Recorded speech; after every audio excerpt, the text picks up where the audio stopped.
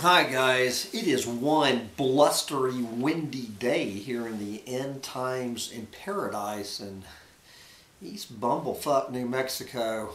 50 mile an hour winds blowing outside today, so me and the little dog are taking refuge here on this blustery Tuesday morning, February 28th, 2017. We have made it to the end of another month so Tuesday is always a lot of fun here. This is when I dive into the mainstream media science pages to see what the various wacky mad scientists, techno-utopians, conspiracy wackos, and anti-scientists, and all the rest of the various flotsam and jetsam of the human race are up to in the wacky world of science. So uh, I'm going to set the little dog aside and dive right into this story, which I was going to put into my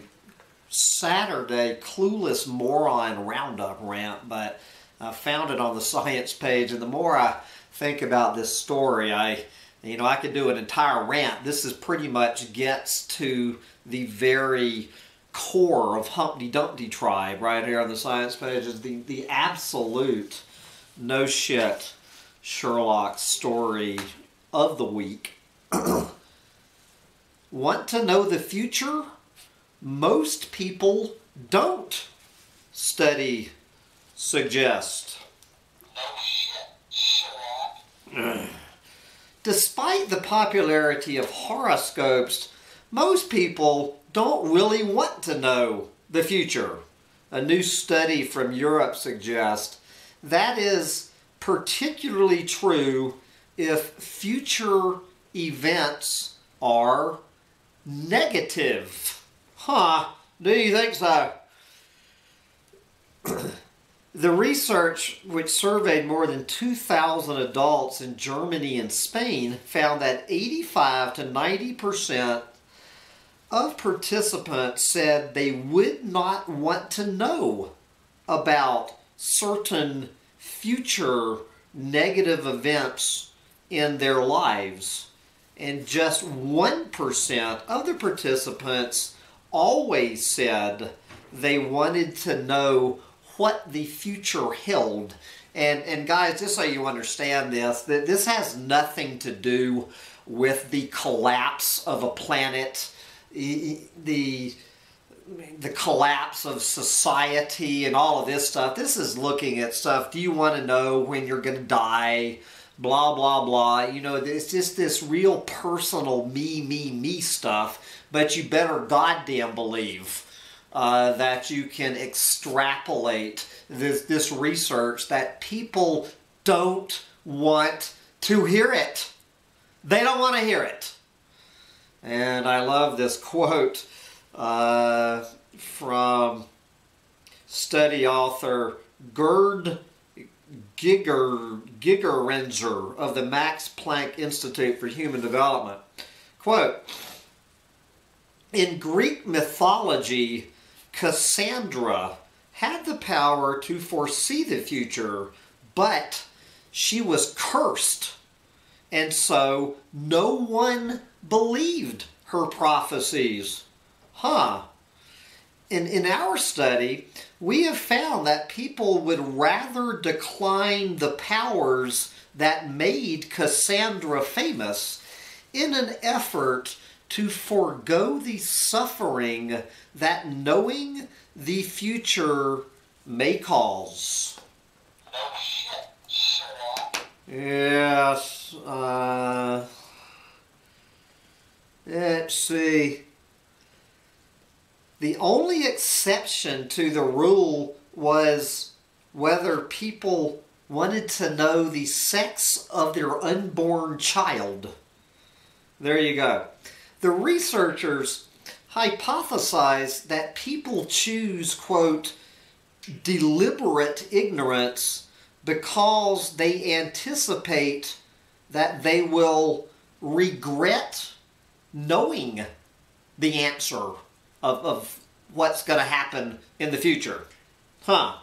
Do you think so? By choosing not to know about the future, people can avoid these negative feelings of regret that they predict will come with having learned about future undesirable events. Researchers, the researchers also found that people who usually choose deliberate ignorance were more likely to avoid risks. Huh, do you think so? the researchers noted they don't know whether the results would generalize to other events not addressed in the study, such as the collapse of global industrial civilization and the collapse of a planet and their own children being cast into a burning lake of fire. Still, the research has said their study shows, quote, that deliberate ignorance exists and it is a widespread state of mind. Yes, do you think that deliberate, ignor deliberate ignorance is a widespread, widespread state of mind? No shit. Sure. The uh, full study will be published in the March issue of the journal Psychological Review. There you go. Uh, anybody who doesn't understand why deliberate ignorance is uh, one of the main reasons uh, let the mainstream media spell it out for you. You know, it, it really has to take some work to be so to be such a goddamn deliberate, clueless fucking moron on this planet. Okay, let's go over to uh, the apocalyptimist side of the fence here. Many versions of this story this week. I love the New York Post showing up on the science pages. The New York Post, you know, one step above the National Enquirer. In case of apocalypse, Arctic Doomsday Vault can regrow world's food supply. Humanity's life insurance policy just got upgraded. The Svalbard Global Seed, Seed Vault popularly known as the Doomsday Vault, uh, has received a new intake of 50,000 seeds from all over the world. That is going to save us from, you know, global food insecurity. Uh-huh. The new batch of 50,000 seeds is one of the largest single deposit deposits made in the vault since it was built in 2008. Um, okay.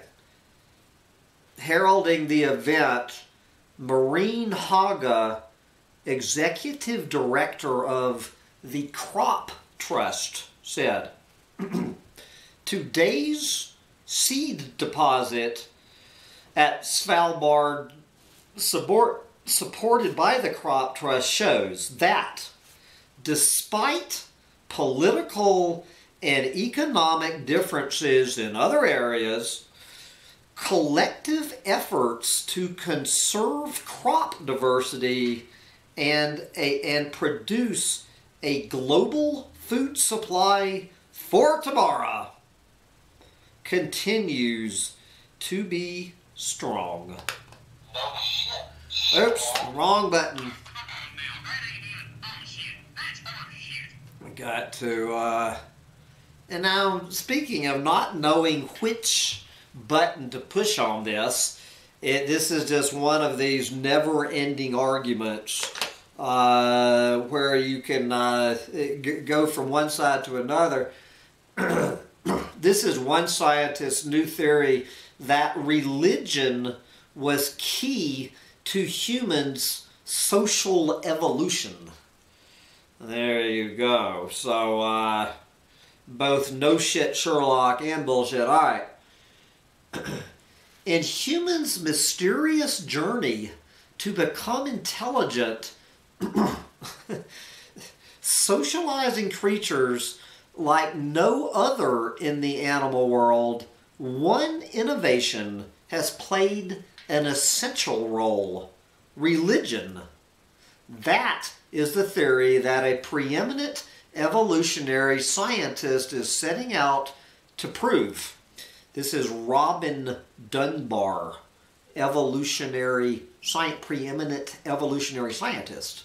Quote, you need something quite literally to stop everybody from killing everybody else out of just crossness.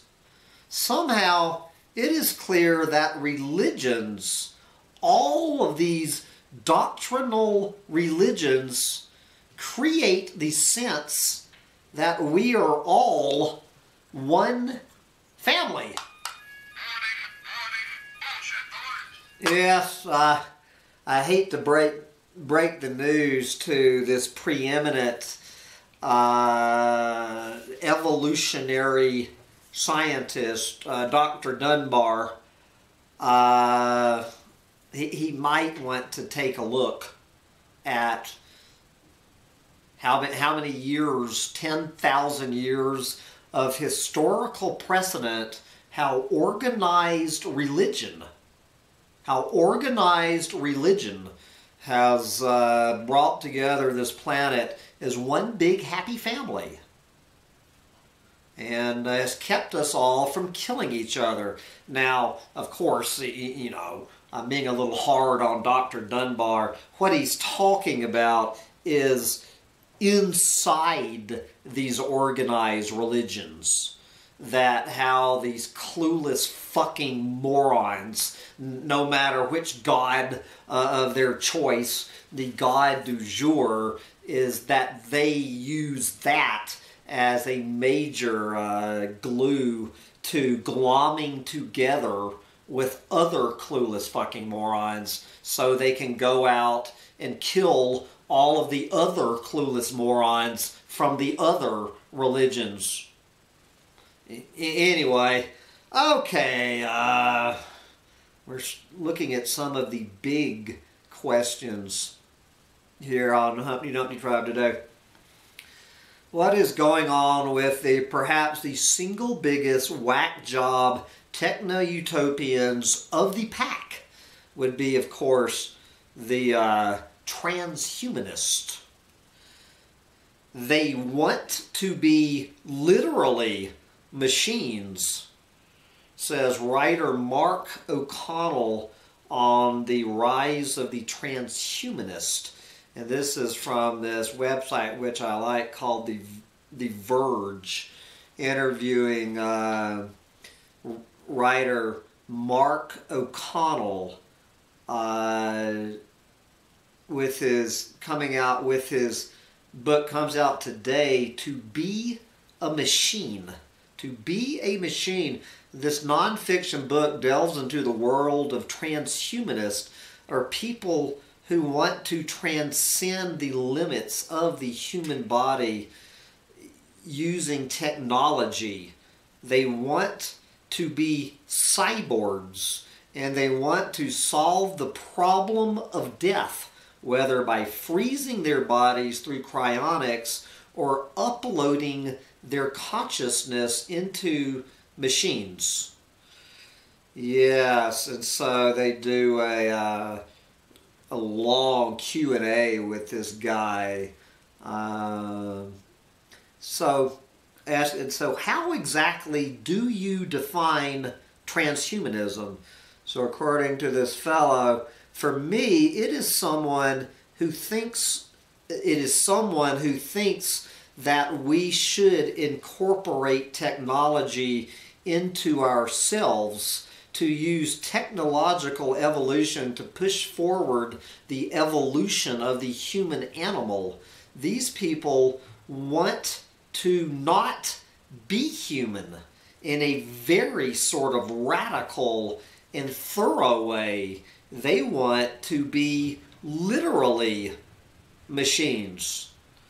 Uh, I really like, uh, okay, like this question. What were some of the transhumanist ideas that seemed the strangest to you? Take it away, Mark. When I started to look at what the basic ideas were around transhumanism, the thing that I found most alienating and weird and completely speculative was the idea of becoming disembodied and uploading your brain, you know, in, into a computer. It's called whole brain emulation. It is the end point of a lot of transhumanist thought. But then I met Randall Kane, who runs Carbon Copies, a foundation that supports research on whole brain emulation. I find him incredibly charismatic.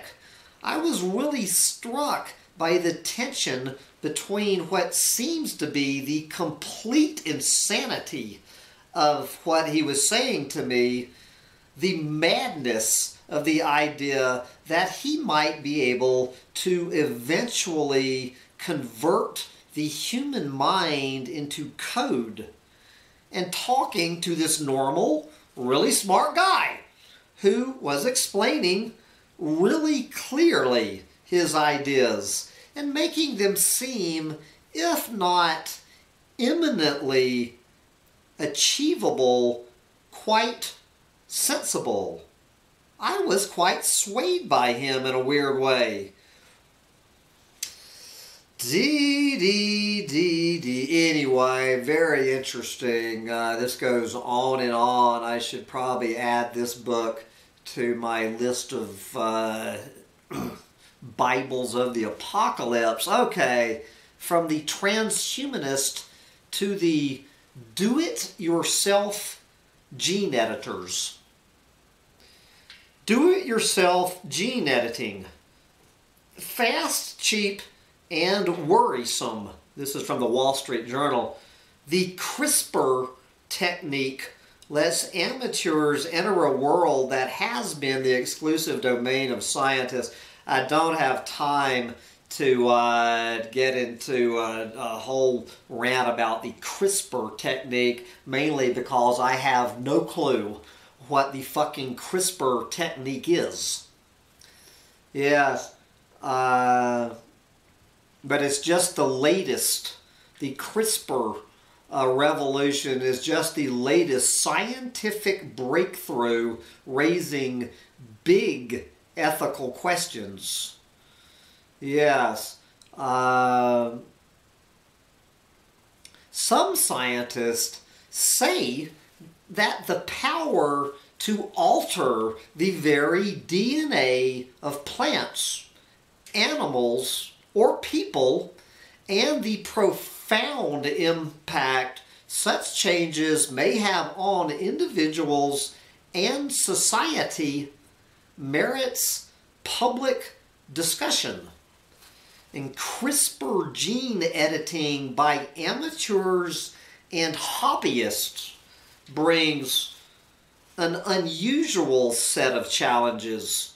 CRISPR is easier, faster, and cheaper than previous gene editing techniques.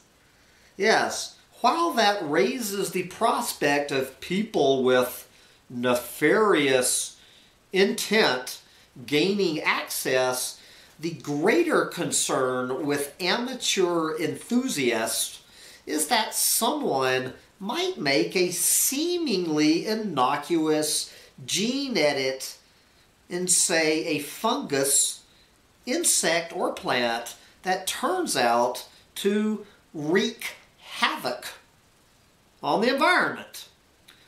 Yes, uh, this is Maxwell Mehlman, a professor of law and bioethics at Case Western Reserve University. Quote, the question is, can we rely on individuals to conduct their experiments in an ethical and appropriately safe way? The jury is out. CRISPR is too new. We have to wait and see. Yep, I don't think we're going to have to wait long before we see. Okay, let's stick with some of the big questions facing the human race uh, here in the 21st century. The never-ending debate, the latest chapter of this from livescience.com, are humans inherently selfish? And of course, this is uh, leading off with our selfish, uh, egotistical, uh, egomaniac in, in chief, Donald Trump. Donald Trump uh, setting off this debate, uh, the most selfish motherfucker we have had in the White House in history.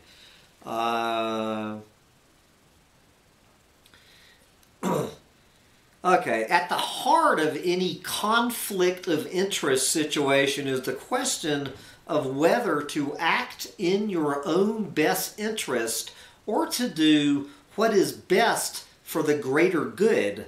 Trump's issues might make a cynic shrug.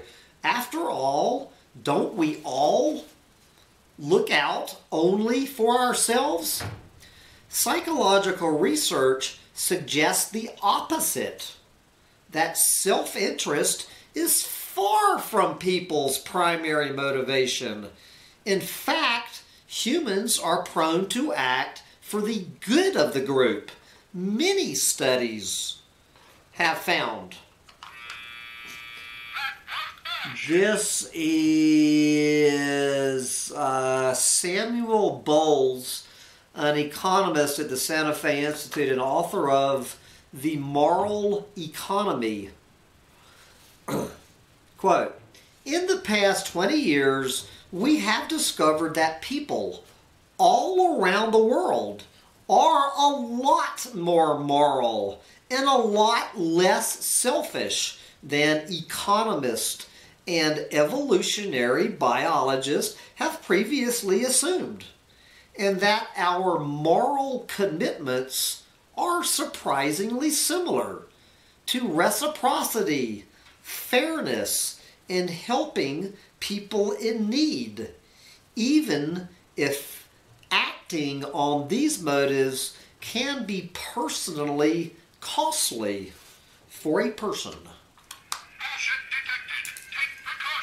You know, this is a long, long, in-depth story. Again, I mean, any one of these stories today, guys, I could go off uh, on an hour-long rant easily just reading this. You know, it just goes through a quick history of this age-old debate, this which will never end.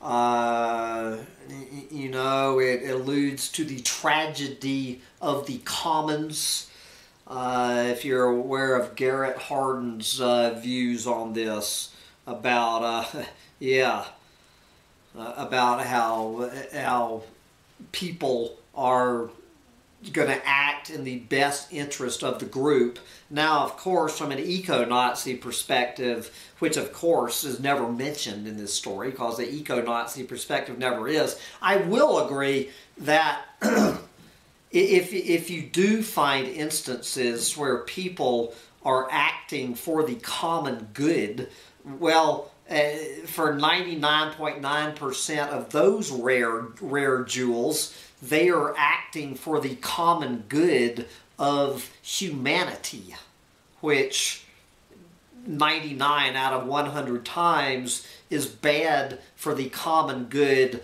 of every single species of planet we of earthling we share this planet with. So from the eco-Nazi perspective, whether or not people are selfish or not. Th- This is always the bottom line of the eco-Nazi perspective. But anyway, guys, as I say, I could uh, do a, a, a full rant on any of these stories. Uh, to, to shift gears just a little bit from Huffington Post mini version of this story. This is Huff Post spin on it. Humans now watch a billion hours of YouTube every single day. Congratulations, world. We have now collectively reached the milestone of being able to say that we watch a billion hours of YouTube between us every single day. And just think, your mom said you would never amount to anything. The proof that mankind is destined to fail and that we all need desperately a new hobby was announced in an official YouTube blog on Monday. Quoting the blog, let's put that in perspective. If you were to sit down, sit and watch a billion hours of YouTube, it would take you over 100,000 years to watch one day of YouTube. Now, guys, uh, I have said many times that I honestly believe to this minute that if there is any chance at this point of saving this planet, uh, you can find it on YouTube. Uh, and just, just like anywhere else, a, a, a tiny, tiny percentage of, uh, uh, I would say, probably one tenth of 1% of YouTube. There's some damn good information on it. But of course, the 99.9% of this billion hours of day uh, of YouTube watching is being watched by a bunch of clueless fucking morons who do not want to hear the future. Anyway, because they have to get back to the cute cat videos. Okay. Let's see, this is just kind of a hodgepodge here towards the end of my rant. Take a wild guess. What is the single biggest cause of sparking wildfires? Sparking wildfire all over the planet. Well, I guess they really centered on the U.S., although you can extrapolate to the rest of the planet. What sparked 84% of wildfires in the United States? And my guess is 94% of the wildfires on the planet last year. If your guess was lightning, you are a clueless fucking moron. Can you say humans, humans spark most wildfires? No shit. People smart, sparked most U.S. wildfires in recent decades, causing longer fire seasons and increasing the amount of scorched earth, according to a new study published Monday. Researchers found that humans caused 84%, more than four out of five of the total one and a half million wildfires studied between 1992 and 2012. Lightning accounted for the rest. So we have human activity versus Mother Nature. Yes, Uh, in addition, humans tripled the length of the fire season during those two decades and were responsible for 44% of the total acreage burned. Now, I'm not quite sure what that means. Uh, humans are expanding fires into more locations and environmental conditions than lightning is able to reach. And the potential threat is expected to get worse. Places where houses are intermingled with natural areas are expected to double by the year 2030. Here we go. Now this this damn story is would take about it, it is a book from the science desk at Business Insider.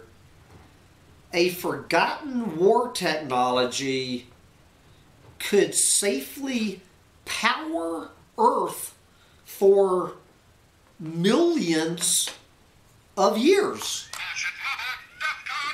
You know, we could power this Earth for millions of years and go right on about our business.